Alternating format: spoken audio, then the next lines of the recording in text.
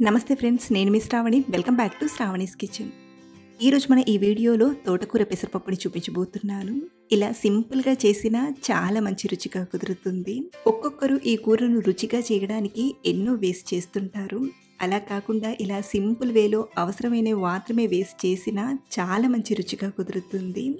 ఒకసారి ఇలా వండి చూడండి. మీరు మళ్ళీ ఎప్పుడు చేసినా ఈ వీడియోని చూసి మరీ చేస్తారు. అంత బాగా నచ్చేస్తుంది. మరి లేట్ చేయకుండా ఈ తోటకూర పెసరపప్పుని రుచిగా ఎలా చేయాలో ఇప్పుడు చూద్దాం రండి. ముందుగా పెసరపప్పుని నానబెట్టి తీసుకోవడానికి ఒక గిన్నెలోకి వన్ థర్డ్ కప్ అంటే ఒక ఎనభై గ్రాముల పెసరపప్పుని తీసుకొని బాగా కడగండి.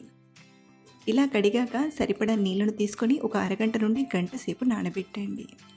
ఇలా నానబెట్టి చేయడం వలన పప్పు త్వరగా ఉడకడమే కాదు చాలామందికి పెసరపప్పు తిన్న తర్వాత గ్యాస్ ప్రాబ్లమ్స్ అవుతుంటాయి. అలా అవ్వకుండా ఉండాలంటే ఇలా నానబెట్టి చేసుకోవాలి. ఇలా నానబెట్టిన పెసరపప్పుతో మనం ఏ కూర వండుకొని చేసినా గ్యాస్ సమస్యలంటూ ఉండవు. ముప్పై నలభై నిమిషాల తర్వాత చూపిస్తున్నాను. చూడండి పప్పు చక్కగా నానింది కదా. మనం ఇలా ఒక పెసరపప్పుని తీసుకొని నొక్కి చూస్తే ఇలా రెండు ముక్కలు వరకు నానితే సరిపోతుంది. ఇప్పుడు ఈ పప్పుని రెడీగా పక్క నుంచి స్టవ్ ఆన్ చేసి ప్యాన్లోకి ఒక రెండు టేబుల్ స్పూన్ల నూనెను తీసుకోండి. నూనె వేడయ్యాక అర టీ స్పూన్ పచ్చిశనగపప్పుని అర టీ స్పూన్ మినప్పప్పుని అర టీ స్పూన్ జీలకర్రను తీసుకొని దూరగా ఫ్రై చేయండి. ఇందులోనే కట్ చేసిన ఓ పది వెల్లుల్లిపాయల్ని అలాగే పొడువుగా కట్ చేసిన ఐదారు పచ్చిమిరపకాయల్ని మూడు నాలుగు ఎండుమిరపకాయల్ని తీసుకొని ఫ్రై చేయండి. ఇక్కడ నేను కారానికి సరిపడా పచ్చిమిరపకాయలని ఎండుమిరపకాయలని తీసుకున్నాను. మీరు కావాలంటే వీటిని తగ్గించి పొడి కారమైనా వాడుకోవచ్చు. ఇలా దూర దూరగా ఫ్రై చేశాక ఇందులోనే ఒకటి కట్ చేసిన ఉల్లిపాయ ముక్కల్ని తీసుకొని ఫ్రై చేయండి. మరి ఎక్కువ ఫ్రై చేయాల్సిన అవసరం లేదు. వీటిని కూడా ఇలా దూరగా ఫ్రై చేశాక ఇందులోకి ఒక పావు టీ స్పూన్ పసుపుని తీసుకొని కలిపి తోటకూరాకును తీసుకుందాం. ఇక్కడ నేను ముందుగానే ఓ నాలుగు చిన్న కట్టల తోటకూరాకును తీసుకున్నాను. అలాగే హైబ్రిడ్ తోటకూరాకు కాకుండా ఇలా నాటు తోటకూరాకుతో చేస్తే చాలా మంచి రుచిగా కుదురుతుంది. మీకు అర్థమయ్యేలా చెప్పాలంటే పైన కొంచెం జుట్టుండి చిన్న ఆకుల్లా ఉంటాయి. అలాంటి తోటకూర ఆకును తీసుకుంటే సరిపోతుంది. అలాగే ఇక్కడ నేను ఆకుతో పాటు లేతగా ఉండే కాడల్ని కూడా తీసుకొని ముందుగా ఈ ఆకుని బాగా కడిగి ఆ తర్వాత సన్నగా తరిగి తీసుకోండి. సో ఇలా తరిగిన ఈ తోటకూర ఆకును ప్యాన్లోకి తీసుకుందాం. అలాగే మనం నానబెట్టిన పెసరపప్పులోని నీళ్ళన్నీ వంపేసి పెసరపప్పుని మాత్రమే తీసుకోండి.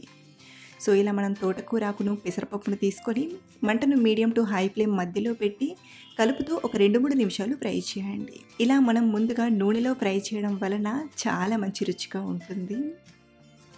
సో ఇలా ఒక రెండు మూడు నిమిషాలు బాగా ఫ్రై చేశాక ఇప్పుడు ఇందులోకి రుచికి సరిపడా ఉప్పును తీసుకోండి. మనం ముందే ఉప్పును తీసుకుంటే తోటకూరలోని నీళ్ళనేవి ఊరుతాయి. నూనెలో ఫ్రై చేయడం అంత వీలు కాదు.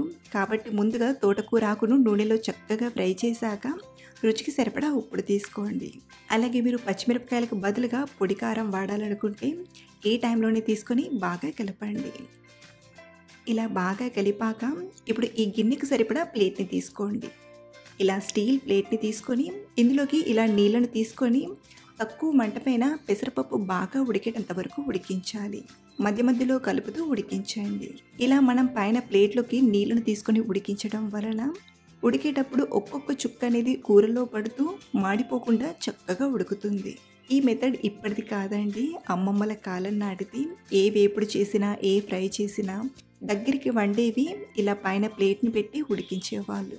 ఇలా చేయడం వలన కూరలోని పోషకాలు రుచి అనేది తగ్గకుండా చక్కగా ఉడుకుతాయి.